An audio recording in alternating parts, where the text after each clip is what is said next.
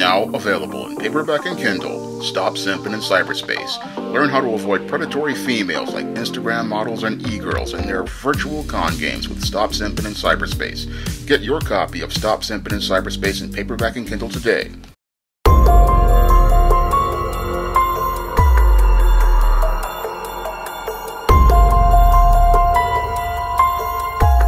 A Jamaican immigrant was shot and killed at a Bronx Dunkin' Donuts on Gun Hill Road after having an argument with a female.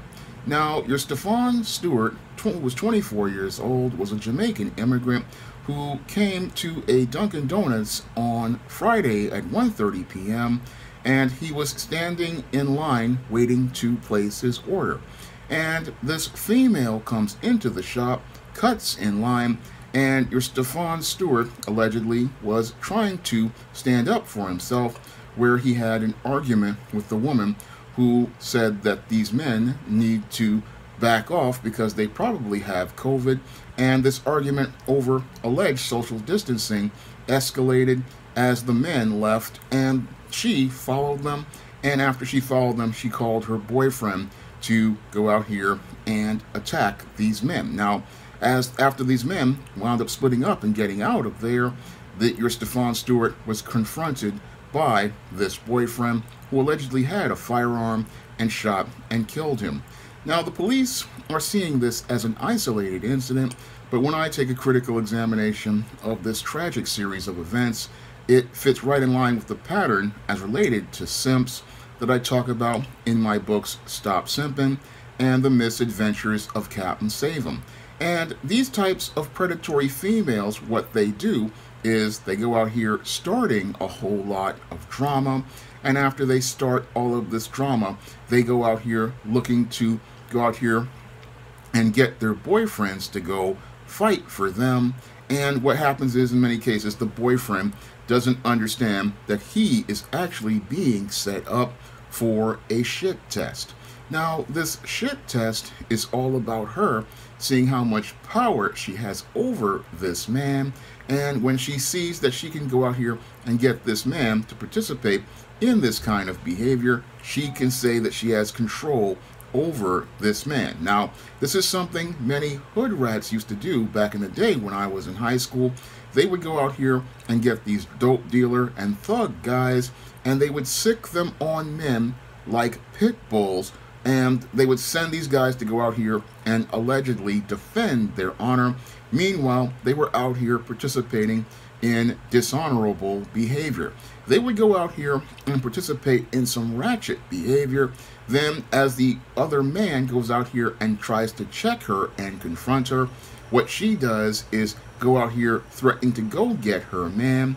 And the guy, because he does not have any critical thinking skills, he goes out here and acts on emotion impulsively, looking to confront that other man based on what he said.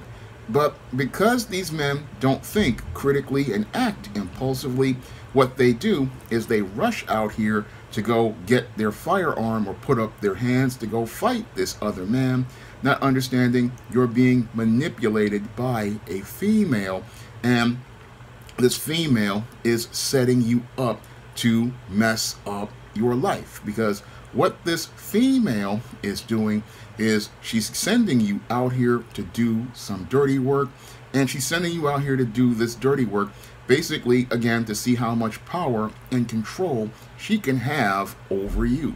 And that's what this female was doing when she came to the Dunkin' Donuts cut in line and then started arguing with Stefan Stewart and his friend she was looking to start a situation where she could go get get some drama started and then send her boyfriend to be the pit bull.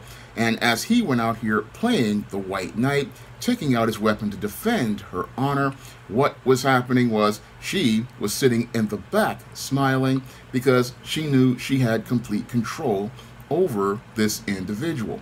And this individual he doesn't see what's happening here and what's happening here is as this woman is pulling the crap test, she, he's going out here, look, going out here in his feelings, looking to murder this man.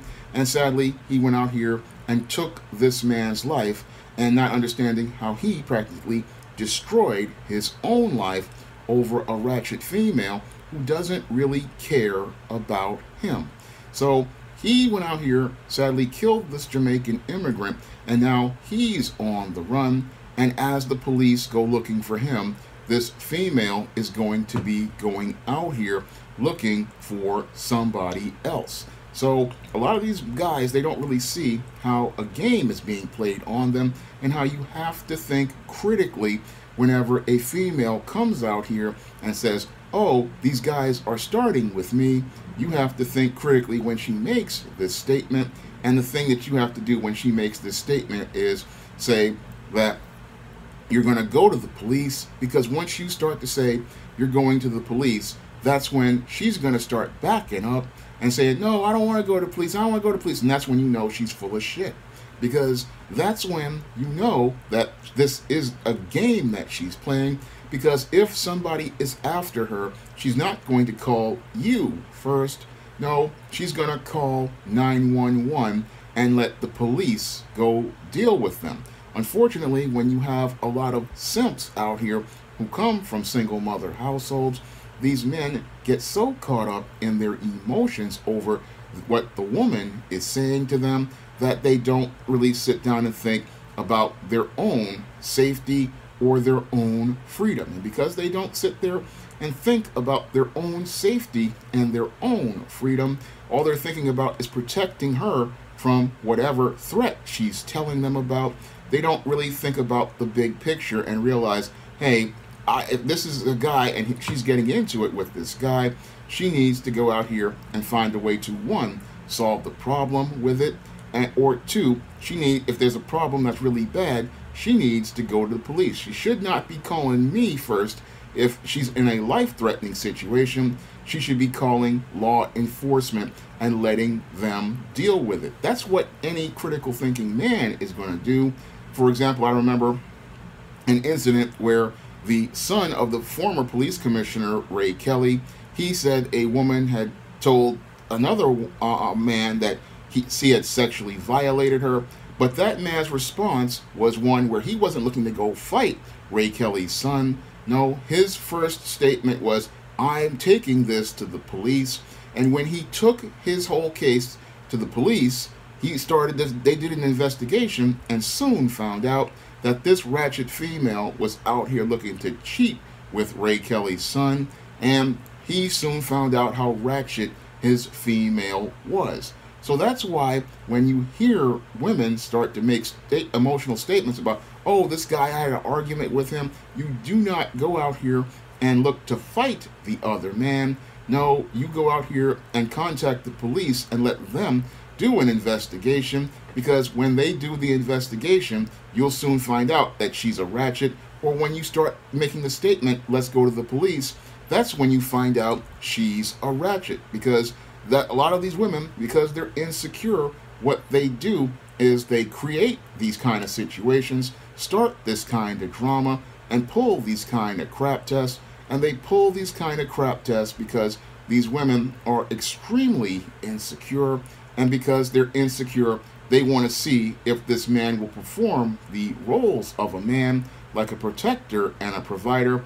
And what's really disturbing about this situation is they go out here looking to sick men on other men, like a like a violent pit bull.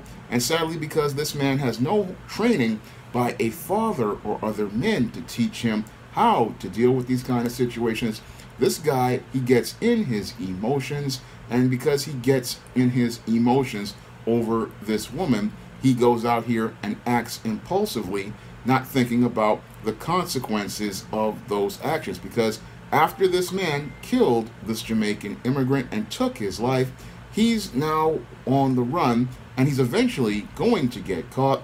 And once he gets caught, what's going to happen is the what's going to happen is he's going to wind up tried and convicted and he's going to wind up in prison for the rest of his life where he's going to no longer have a girlfriend who's going to be dropping a skid mark thong to give him a taste of the atomic waste. No, they're going to be tearing up that booty inside of the prison after they trade it for Little Debbie snack cakes, ramen noodles, Kit Kat candy bars, cups of coffee, six pack Oreo cookies, or anything from the commissary, that is going to be his final fate because he didn't think critically whenever a woman told him something. And one of the things a man has to do is when a woman tells him something, he has to take it with a grain of salt before until it's confirmed by sources because to sit there and rush out that's your instinct as a man but you have to temper that instinct with discipline because some of these women they will send you out here on a kamikaze mission send you out here to go out here and defend her honor. Meanwhile she's dishonorable and after she gets you locked up in the penitentiary six months later you're getting a letter and that letter is telling you that oh you're not being there for me anymore I'm, i found somebody else this relationship isn't working out and you're not there for her meanwhile you tried to ironically be there for her and defend her honor but this female was never honorable and she sets up all of these games because of her insecurities. And because of her insecurities, she's got you locked up. Meanwhile, she's out here getting her back blown out by another dude while you're getting your booty blown out by Bubba and Tiny. And sadly, that's what happens to many guys out here who don't know the game. And sadly, almost 30 plus years later, I'm seeing more guys fall for the exact same game that I saw go on back in high school when I was a kid. And I remember back then hearing about horror stories like this go on here in New York City where guys would kill other guys because a girl sat there and weaponized him and sicked him on another man like a pit bull. And the guy, because he didn't think critically, he went out here went out here with his, with his gun looking to shoot the other guy or stab the other guy. And then when the police caught him and locked him up, she was out here with one of with another dude and in many cases she was out here with one of his own friends. I mean Kool G Rap talked about this in his song Edge of Sanity and a lot of these guys don't know how they are on the edge of sanity going out here going out here playing these kind of games with these kind of females and going out here thinking, oh, this is my woman, I'm gonna protect her. But the whole thing is, who's protecting you from her predatory behavior? That's the critical question I want to ask many of these guys out here who buy into this type of f- hyper masculine false machismo. Who's protecting you from this female when she's out here? Who's protecting you from the games that she's playing. And the whole thing is, you don't have anybody to protect you from her games. So that's why you have to understand why you don't act impulsively because she's not looking out for your best interest when she sends you out here to do something like this because the if a woman truly respects you she is not going to put you in a situation where your life is going to be put in danger, and she's not going to put you in a situation where you are going to be put at risk for getting locked up over some foolishness. If a woman truly loves you, she is not going to send you out here to go defend her honor as related to getting to being a fight over a space in a line at a Dunkin' Donuts. No, she's not going to send you put you in a, a situation where you're going to wind up putting your life at risk over a, a over something like as trivial as a place in a line at Dunkin' Donuts. No, no man is going to go out here and when a woman is going to go out here and do that kind of thing because if a woman loves you, she's not going to go out here and put you in a perilous situation. No, only predatory females will put you in a perilous situation over something trivial and usually, when a female puts you in that kind of situation, it's because she's got somebody else lined up that she's looking to get with. So that's what happens to a lot of guys out here. And sadly, this was one of the reasons why your Emmett Till sadly wound up losing his life back in the 50s because a ratchet female, just like the one right here, told some guys to go out here and take another man's life. And because those men were too stupid to understand that they were being played. they wound up again murdering a little boy who was 14 years old. In the same way, this Jamaican immigrant wound up losing his life, all because many of these men don't go out here and think critically about a situation and don't think, hey, this female is not looking out for me. And I guarantee you, in this case, where I, have seen the video of this black woman, she was definitely looking not looking out for this dude because I doubt she would do this with Mr. Clean. I doubt she would call Mr. Clean and have him go out here and fight over her. No, he, she wouldn't do that to Mr. Clean, but she did it to this guy. And now this guy is on the run. His life is practically over. And now he's looking at life in prison while she's living her best life with another dude. And that's something many men really need to think about. She's going to be out here living her best life with another dude and getting her back blown out by another dude while you're trying to fight to save your booty hole from being torn up by Bubba and Tiny. And she's sending you a Dear John letter telling you it's not going to work out. So that's why you really need to talk to other men about relationships and learn about the situation because that's how you avoid winding up in these kind of situations and you wind up not getting your life jammed up and messed up by predatory females like this. Now, if you want to learn how to avoid situations like this, you will need to pick up my book, Stop Simping Why Men Don't Need Finance to Get Romance, The Misadventures of Captain Save-'em, and The Man Crisis on Amazon.com in paperback and Kindle format because these books will teach you all about the predatory nature of predatory females and it will teach you how to avoid these kind of females and these kind of situations like this. And if you want to see me make more videos like this, you can donate to my Patreon, my PayPal, or my Cash App by clicking the links in the description box.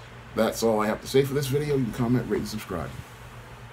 Now available for the first time in paperback. Stop simping in the workplace. Men, learn what you need to know in order to protect your job from workplace predators with Stop Simping in the Workplace.